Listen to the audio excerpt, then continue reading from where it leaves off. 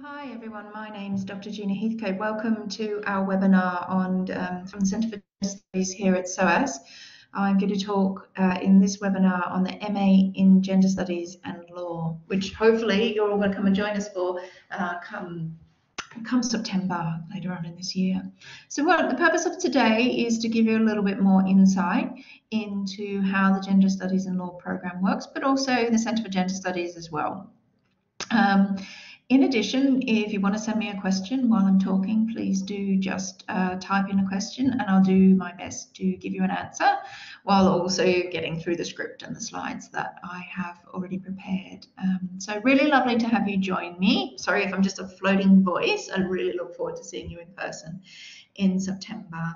Um, so I am Dr. Gina Heathcote, and uh, like the Gender Studies and Law program, I am actually split across two departments. So the Gender Studies and Law program uh, was something that I designed uh, that really, I really wanted to reflect my passion for both gender studies and for law. Uh, and I am split. I work in both the School of Law here at SOAS as well as the Gender, Centre for Gender Studies. Uh, and of course, if you enrol in the Gender Studies and Law program, you will also be taking courses both in uh, law and in gender studies. So a little bit about the centre because although you will be uh, working in both gender studies and law at SOAS, uh, you will your home, your institutional home will be the Centre for Gender Studies. Uh, we're kind of small in terms of permanent staff, but we do have centre members across all of SOAS, which is one of the things we're most proud of. Every discipline at SOAS has colleagues working on gender and sexuality, and you will have access and work with uh, many of those during your time studying with us. So in terms of permanent staff, our current centre chair is Professor Nadje Al-Ali, and actually that's her in the photo uh, with Women in Kurdistan, uh, work that she was doing uh, research that she was doing uh, in working with Kurdish women actually in southern Turkey this time, although she's also worked with them in northern Iraq. Uh, I am the um, Gender Studies and Law convener, so I run the program. And if you have any academic questions or concerns while you're here, I'll be the person that you come and talk to. Dr. Awino Okech uh, is the MA in Gender Studies program convener and will also be uh, the convener of your core course, Gender Theory, uh, once you arrive. And Dr. Alyosxa Tudor is the MA in Gender Studies and Sexuality convener and also runs some fantastic modules uh, that you can pick up as um, optional modules on your degree. So as I said, although we are for uh, permanent staff in the Centre for Gender Studies, we're incredibly well supported by our centre members. So if you go on to the Centre for Gender Studies website, you'll see not only our core staff, but also members coming from every department and discipline at SOAS. And these colleagues help us in various ways. Sometimes they give guest lectures. They're heavily involved in our events program, which I'm going to talk to you towards the end, talk about at the end. And they also uh, provide dissertation dissertation supervision, uh, specialist dissertation supervision for our students if they're working on an area that we feel would benefit uh, from the specialist uh, expertise of our colleagues. Okay, in terms of administrative support, we also have a dedicated uh, gender department officer for gender studies, Vian Hilly, uh, and you can see her contact de details there. She's wonderful support to both centre staff and centre students. Uh, nothing's too difficult. There's nothing about SOAS she doesn't know and that she can't help you with. Uh, if you have a question, an admin question already, feel free to send her, a drop her a line on the gender studies at soas.ac.uk. Uh, email address. Uh, she actually is one of our former students, so you can also, when you get here, talk to her experience about being at SOAS and actually she was a law student, so she has a great insight into this particular degree on gender studies and law and has taken many of our courses on this particular program. Okay, so a little bit more about the centre, both in terms of how we're organised and what we do, but also how we approach gender, what we think about, uh, and I want to kind of tailor this a little bit to the Gender Studies and Law programme uh, in particular. So the Centre for Gender Studies uh, runs two different types of postgraduate programs, both the taught degree, which is what you'll be enrolling on, and postgraduate research degrees, so doctoral studies in gender studies. Uh, and we like to keep, uh, you know, a real kind of connection between the two programs. You'll meet many of our research students. Uh, quite a few of our master's students go on and become our research students. So if that's what you're interested in, let us know early on uh, and we'll make sure you have the information you need for that to happen. Uh, we actively promote the research community, not only with our students, but through bringing in our centre members uh, to present their research, either in through events uh, or through, as I said before, guest lecturing this makes a fine, fantastic dynamic community working on both gender and sexuality at SOAS. I'm really proud that a, a good number of those colleagues are actually working in the School of Law and the work that they're doing on gender and sexuality uh, definitely enhances the work that you will encounter, the research community that you in, encounter here at SOAS. And this really allows an interaction for students and staff. Uh, we see everyone as kind of engaged in an intellectual project rather than this kind of sense that you're the students, we're the staff. Uh, we organise lots of events, uh, social, uh, social activities for our students, um, and we like to try and give you a kind of an entrenched connection to different kinds of community organisations and media uh, activists as well. But beyond that, I think what's important and what's distinct about Centre for Gender Studies, and certainly for me coming from more of a legal background, is the way that we approach gender. So we approach gender, you might have guessed already, in an interdisciplinary fashion. We don't think gender belongs as a kind of analytical tool in a single uh, department or discipline. And in fact, what we're interested in is not only that gender emerges across the different disciplines, but how that can kind of really lead in contemporary interdisciplinary studies and research. And we hope that that becomes part of the work that you do here. Obviously, being on the gender studies and law program, you will be moving between two disciplines all the time. Uh, and I always say to my students, when we're in the law school, that understandings of gender, sexuality, and law tend to lag behind some of the contemporary gender theory. I think that that allows you to really produce cutting edge writing on particularly feminist legal theories, but also the study of gender and sexuality in law, something that's increasingly important given the attention that both states and international institutions are now paying to gender and sexuality. In addition to this, we regard gender as intersectional, and by that I mean gender as a power relationship that is engaged, produced, and understood, or could only be understood through thinking through gender's intersectional relationship with other power relationships, uh, particularly race, class, sexuality, ableism, religion. And in taking an intersectional approach, we think about voice, we think about who speaks, we think about privilege, uh, and we think about how focusing only on gender potentially sustains certain types of privileges uh, for some women and really alienates other women. So we spend a lot of time uh, thinking about what it means to take seriously uh, serious an intersectional approach to gender that is derived from an understanding of how power operates in our communities. Furthermore, SOAS as an institution and Centre for Gender Studies in particular uh, are interested in how we decolonise knowledge and the, and the, contemporary projects on decolonising knowledge. What does it mean to decolonise uh, gender? And sexuality. Uh, whose voice do we listen to? Uh, what kinds of materials uh, in your classroom? How are you encouraged to think about your own privilege and access to materials or knowledge structures?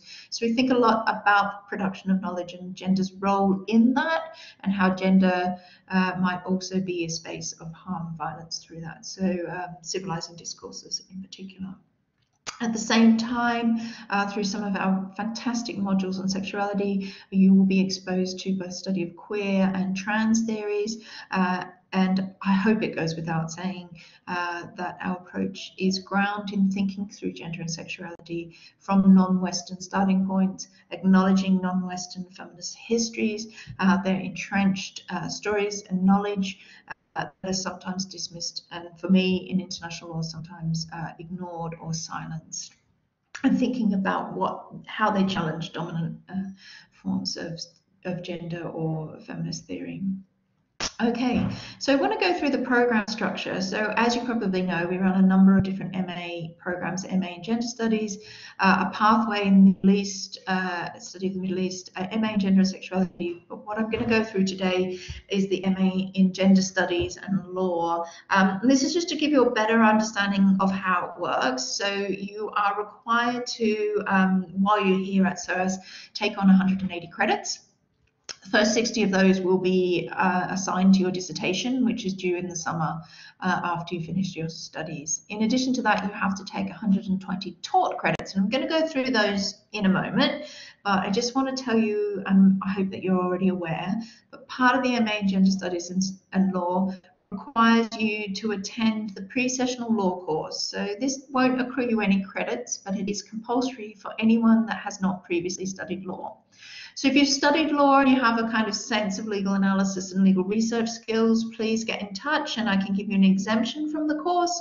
Uh, but I find that even people that have studied law before enjoy coming along. It's co-taught uh, to all our MA in law students, so you meet a lot of the students that you're going to be working with during the year. Starts on Monday the 10th of September and concludes on the 21st of September. So two weeks of lectures that you come in, you're not assessed at the at the end, but it really gives you an insight to how to work with law, hopefully demystifying uh, what it means to undertake legal studies uh, at any law school, but particularly here at SOAS. Now, in addition to that, you are required to take a number of core modules. The first main core module, which all of our students take, including our research students first year, is the gender theory and the study of Asia, Africa, and the Middle East. This is a year-long course. As I said, everybody takes this course. It's a fantastic way to get to know uh, all your fellow students. It's taught by Dr. Awino Okech. It's challenging, it's engaging. Uh, our students uh, give us lots of great feedback about this particular very bespoke course. Uh, you'll also have a weekly tutorial where you have an opportunity to really think more closely about some of the readings and the knowledge that's being discussed in the lectures. Now, because you're gender studies and law students, you are also required to take an, additional half module uh, as a core course. And this is the Gender, Sexuality and Law Theories and Methodologies course, which runs in term one. I run this course and I run it together with my colleague Vanja Hamzić. Um, and we think through the development of gender theory, feminist legal theories, uh, study of sexuality in relation to law, and it's there to give you a kind of strong theoretical and methodological understanding of what it means to take gender theory to law. Because, of course, once we come to law, we have sometimes more pragmatic uh, goals that might be refined uh, by the very constraints of law. And we think about what law is and what options uh, gender law reform offers. We think about some of the law, gender law reform we might already know, know about. Of course, that's paired with a second gender and sexuality in law course called selected topics, which you could take uh, as an optional module. You are also required to take a dissertation methods in gender studies module in term one. This is a great course where you work with Dr. Okech uh, to really think about what your dissertation is going to be both focused on and what are the requirements for a dissertation, what are the different ways of kind of writing a dissertation. You do a presentation on your dissertation topic, course, it might change. And then you submit a proposal for your dissertation as the assessment for that course, uh, which is sometime, that assessment happens sometime in February and allows you to get some feedback uh, from centre staff about the quality of your proposal, what you might do next, uh, readings, for example. Now, in addition to all of those core courses and the pre-sessional course, uh, you required to take uh, 30 credits from the Gender Studies List 1, which you can see on the website. So these are gender studies modules that are either taught by Centre for Gender Studies colleagues or by uh, colleagues in other disciplines, but that have sexuality and gender at the kind of core of their focus. Uh, and then because you are gender studies and law course, uh, law students, you're required to take 30 credits from a law list. Now, this is kind of revised every year, and it, these are courses that we think uh, work well for the program. And if you've got some questions about that, please drop me an email. I'm more than happy to advise you. I know the course as well. Uh, I can really give some guidance or send me a question now, even.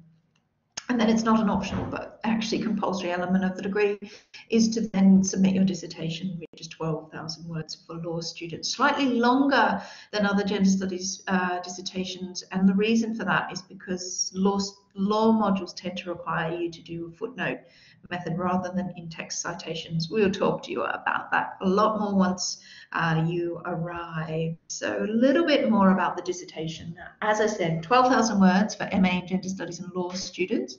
Your supervisor will be allocated from the CGS staff list or, as I mentioned before, it might be that we think that your research area would benefit from working from one of our members uh, to the centre who might work particularly in that area. For example, uh, my colleague Vanja Hamzić, who teaches on the gender sexuality law course, takes on quite a few dissertations for us. um, mostly because he works on issues around sexuality in South Asia, but also uh, working in archives and thinking about uh, colonial histories of gender and sexuality in Africa. Quite specific work, um, and we think that people benefit from working with him. He's a fantastic colleague. Uh, you design your topic and then we support you in framing that topic and putting it together. It should relate to your studies at SOAS and hopefully uh, also engage the SOAS regions, but the SOAS regions include diaspora communities, so it could be looking at issues of race, for example, in diaspora communities in, in the UK or Europe. Eh, after you've finished the dissertation in gender studies module, you've done a presentation on your dissertation and you've submitted your proposal, uh, you then we encourage you to work with your supervisor through both term two and term three. Uh, the, the expectation is that you would have three meetings with your supervisor really to help design the project. Think about, you know, is it too broad? Can you bring in specific kinds of readings and talk about some of the ideas and the framing of it? The expectation is that then you go ahead and write it on your own over the summer with a deadline in September, and we give you plenty of guidance along the way. You're certainly not left on your own for that.